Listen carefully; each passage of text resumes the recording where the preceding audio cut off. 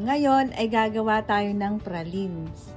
So, ito yung mga ingredient natin.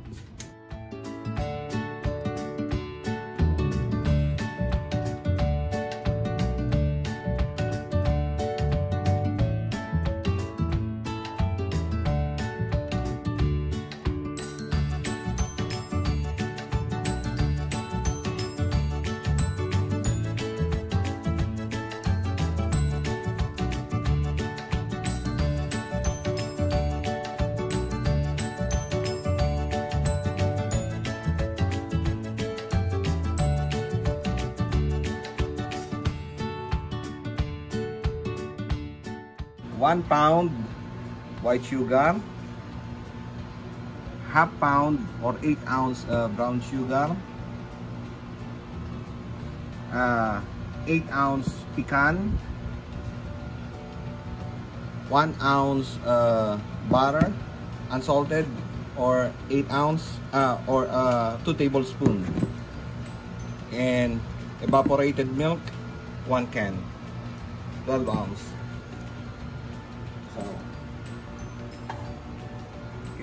Kailangan natin ng wooden spatula, pot, uh, I use purple scoop, meron tayo seal pot, sa, para yan yung non-stick. So, diyan natin ilalagay yung ating pralines, uh, rubber spatula. So, we'll start.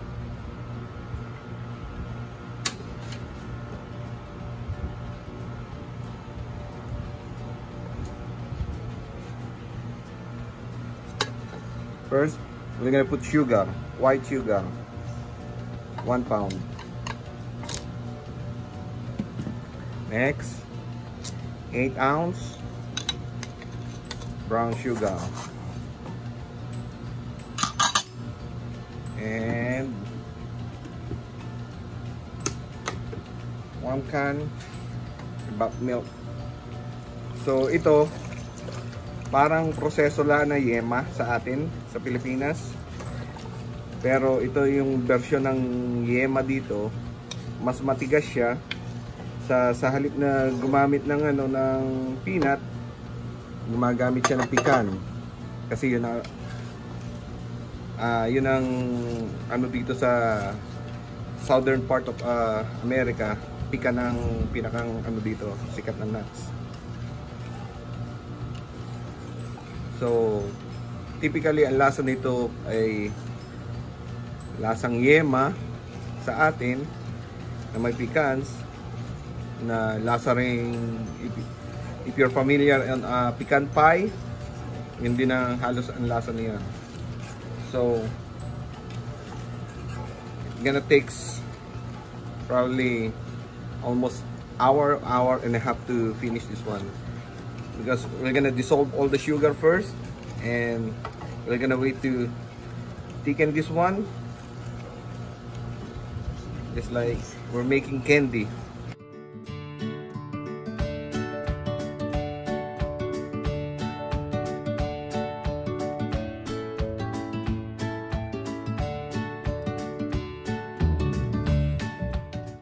Ngayon ang pralines uh, ito ang praline number 2 na sikat dito sa New Orleans na dito nagmula. Kasabay ng binye binye is uh, like a square donut. Ang pralines ito ay pinaniniwala ang dinala dito ng mga ito ay pinaniniwalaan na dinala ito ng mga uh, Ursuline nuns mga, o mga madre na galing France.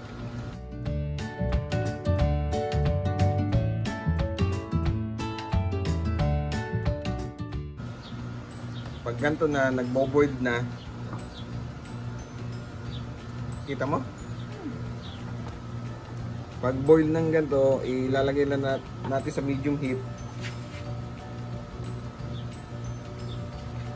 Kasi para hindi umapaw sa continuous lang halo.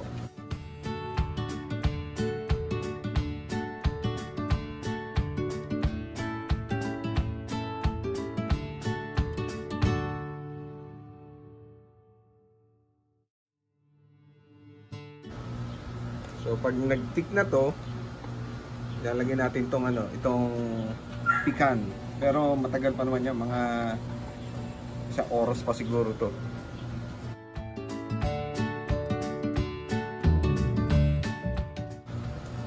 Pagkatapos, huling ilalagay natin itong butter para maging shiny siya yung candy natin. Kaya mas malinamnam.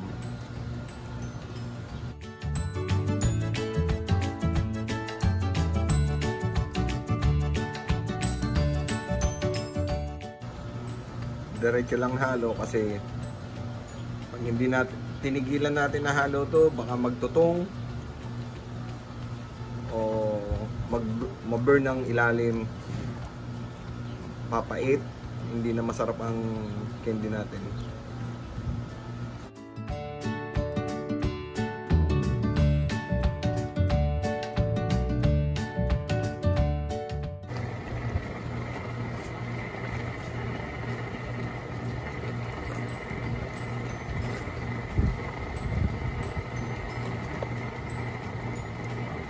Nagtitik na siya ng kaunti. Pero kaunti pa.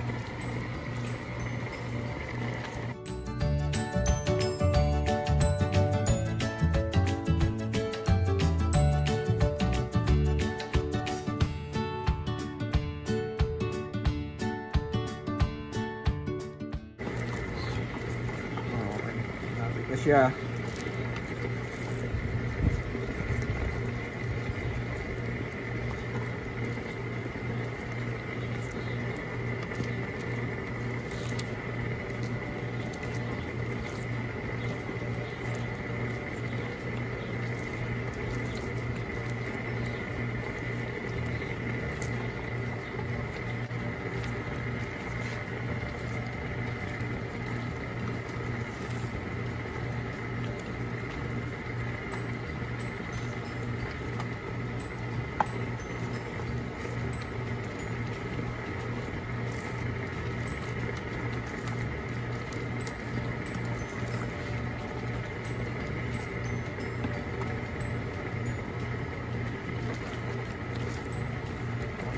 Siguro mga 3 minutes.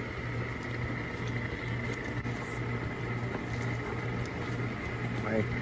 So, lagay na natin tong 8 ounce ounces of uh, pecans.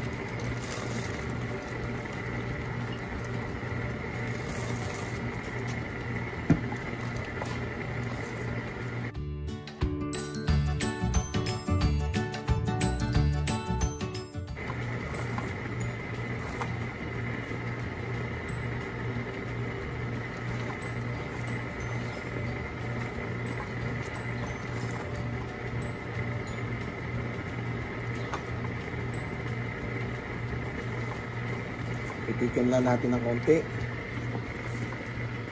Another 2 to 3 minutes.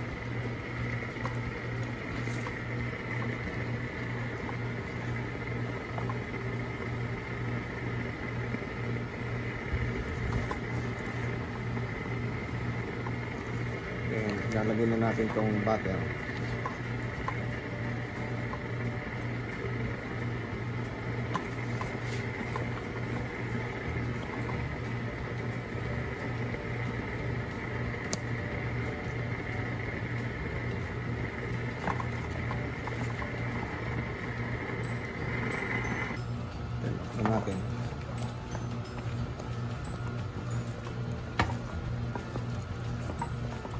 Tunawin lang natin yung butter sa ready na to.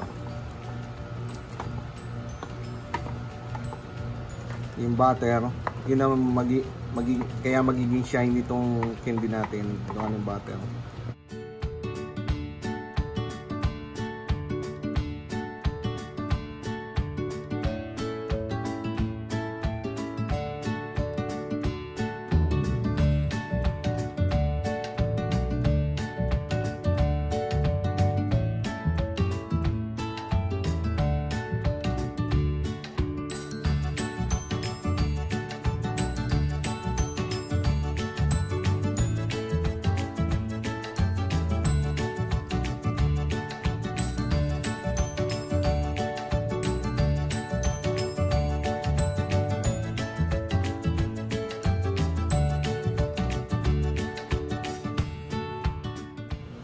Ito.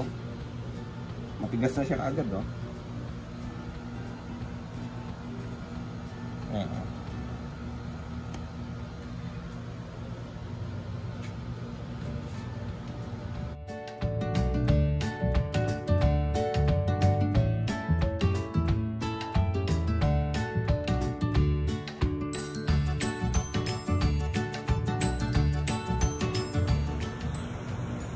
Hello guys, tikman natin yung ginawa nito per na praline.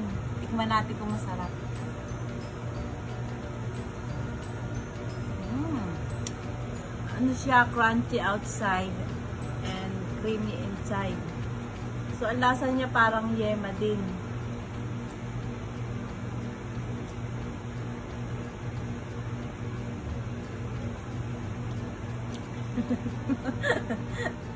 Hi guys, marami pong salamat sa lahat po ng mga nag-subscribe at mga nunood po ng aking YouTube channel. Marami pong salamat sa inyo.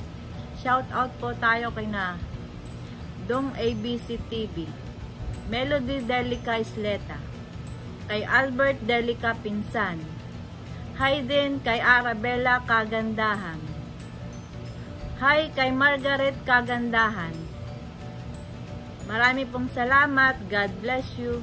I love you all. Thank you. Shout out din sa aking editor na si John Carl Kagandahan.